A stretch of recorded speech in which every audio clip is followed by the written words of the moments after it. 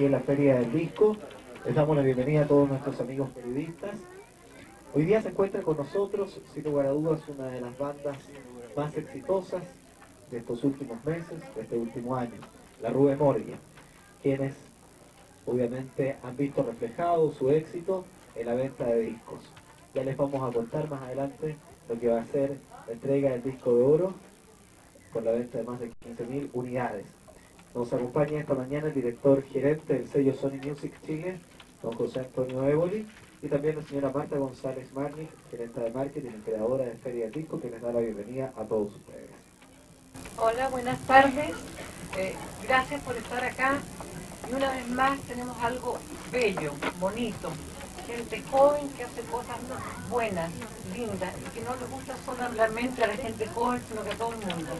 Yo quiero felicitarlos realmente por el disco que van a recibir ahora y más que nada por el trabajo que ellos han realizado, porque se nota un esfuerzo, una, constancia de, trabajo. Que realmente de verdad los felicito.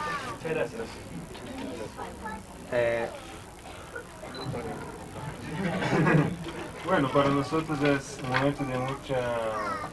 Es muy importante estar aquí entregando ese disco de oro que nos ha, costado bastante, o sea, con, la banda desde el año pasado, cuando empezamos a trabajar. Y hablamos mucho sobre esto, o sea, y creo que los, los resultados están ahí, o sea, ellos han colaborado tremendamente, son extremadamente profesionales, y creo que tiene un tremendo espacio por delante y mucho futuro y, seguramente no, quedaremos solamente en este disco vamos a hacer muchas más cosas y creo que usted lo merece. Muy bien, yo voy a dejar a Francisco, mi tocayo, en nombre de la Rube Morgue para que les dirija unas palabras a todos ustedes. Bueno, eh, ante todo muchas gracias por, por, estar en esta casa, compartir este momento que es como importante para, para nosotros. Muchas gracias también a, por todo el, apoyo que nos han dado la compañía, a toda la gente, la compañía también. Y bueno, agradecer y decir que, que nos sentimos bastante felices por, estar en este momento.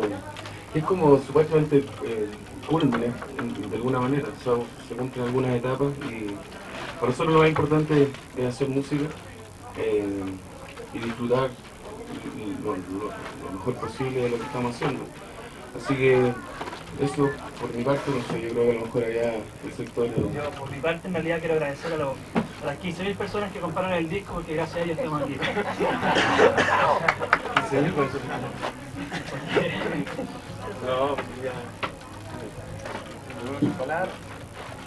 Bueno, también, no sé, agradecer a gente, no solo la compañía que nos ha apoyado a lo largo de la carrera que hemos tenido, eh, a gente de nuestra productora, a gente que ya no está en la, en la Sony y que también nos ayudó mucho. Eh, y no sé, estoy re agradecido, estoy súper emocionado. Eh, parecidas son mis palabras también, yo estoy emocionado y, y muchas gracias a todos. Muy bien, eh, procedemos a la entrega del disco y después le damos la, la palabra. ¿O quieren hacer alguna pregunta? O tiro la pregunta.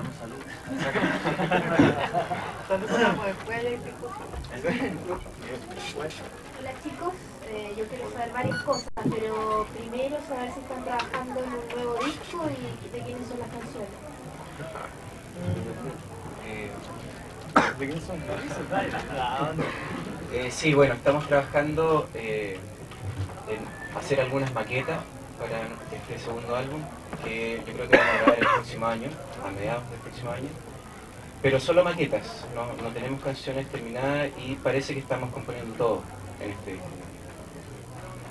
¿Por qué parece? Porque no está eh, A mí me gustaría saber si tienen ya planeado su calendario de actividades de tocatas en el verano. ¿Y cuáles serían? Bueno, a mí me parece que, están quizás algunas fechas para el verano. La idea es que es tocar en la, mayor parte, la mayor cantidad de partes posible. Pero se, tiene que confirmar de aquí a un par de semanas más y poco tiempo más, ya decir, o sea, para tener la certeza de decir en qué lugares vamos a estar específicamente, pero la idea es estar tocando fuera de Santiago principalmente, donde hay lugares que no hemos ido eh, nos parece que no han estado, por ejemplo, en Arica o Antofagasta, Puerto Montt, y nosotros queremos estar en todos esos lugares. Eh, nos interesa mucho tocar en, en todo Chile y, y esperamos que sobre todo este verano estemos en, en la mayor parte de, esos lugares, es lo que queremos. Y otra pregunta, ¿qué les provoca el ganar algún premio APE? ¿Sienten algo especial? Podría ser. Yo creo que sin duda que es importante, un premio, pero eh, hay que verlo así nada más. Sí, o sea, la cuestión es trabajar. Claro, no, principalmente no, a nosotros ya no, nos satisface el hecho de, de, esta, de tener tres nominaciones.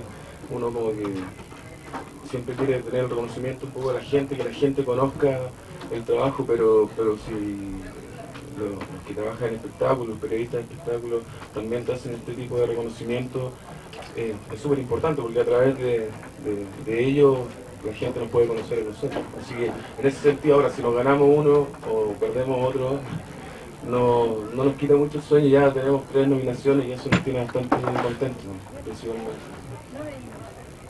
Así como alguien dijo por ahí, gracias a los 15.000 discos vendidos, eh, ¿cuál es la temática? ¿Cómo creen que ustedes han llegado a la gente? Eh, ¿Cuál es el mensaje que te difundieron para lograr esto? Bueno, esa pregunta la puede responder acá. Yo creo que desde un principio, cuando nos, nos preguntaban cómo nos catalogamos nosotros, el tipo de música, eh, hablábamos algo de simple nosotros. Y la idea siempre fue llegar a, un rango de gente joven y adulta, adulto mayor también. Entonces, es muy agradable la música para escucharla, entonces quizás ese fue un, un punto en, en cuanto la gente empezó a agarrar la onda con la Rue Moro. Creo por ahí. ¿No? Bien. Bien, es lo que yo vi, ¿ya? Sí, Llega, llega. Y Estoy feliz de ver, como te decía, el grupo chilenos que estén haciendo cosas que no necesitemos de afuera, sino que tengamos aquí en el país, de verdad. Sí. Sí, nosotros principalmente quere- eh, queremos hacer música y, y la música es para todo el mundo que quiera escucharla.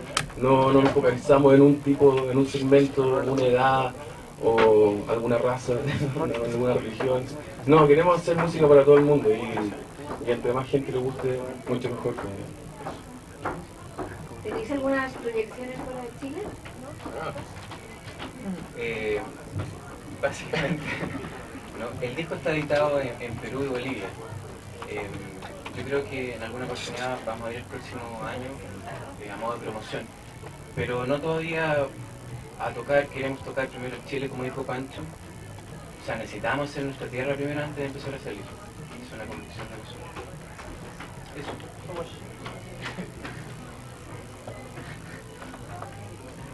¿Hay más preguntas? Sí. A ver, allá. Ustedes por lo general tocan, o les gusta tocar, no sé si les gusta en realidad, es una apreciación mía, en lugares reducidos, como, como tienes un canto eso. Eh, ahora piensan quizá abarcar más público, un lugar un poco más amplio, no sé, un poco más masivo. No sé, yo creo que durante toda la carrera de los grupos tienen que haber eh, escenarios pequeños y otros más grandes. En lo personal, eh, los escena- escenarios pequeños me ponen más nervioso a mí. Los grandes no tanto, creo que es una cosa más impersonal. Pero con. King, con un escenario bien grande. Sí, también en un festival hace poco. Pero lo, lo que voy a recalcar que la parte chica también, la ventaja que tenía es que estáis cerca del público. Y el calor del público se nota mucho más. Ahora también tenemos que empezar a abarcar las partes, digamos, escenarios más grandes. Y se va a ir dando a poco, yo creo. Es cosa del circuito y empezar ampliando más la cosa de las tocatas.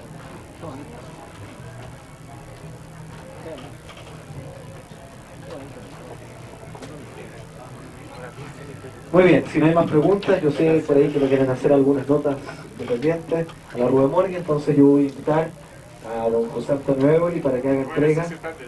Sí, está con nosotros, no sé si se habrá ido el gerente general de la Feria del Disco, don Rodrigo de la Fuente. Don Rodrigo, vamos a invitarlo para que, como son cuatro discos, Cuatro, la suerte que le dieron cuatro. Bueno, uno para mí. Uno para mí. don Rodrigo de la Fuente, gerente general de la Feria del Disco. Aquí adelante. Sí, adelante. Cada uno le cada uno ahí.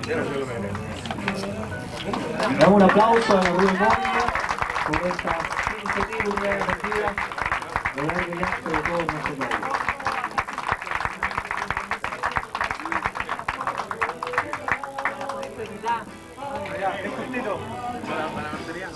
De que yo me gane el disco.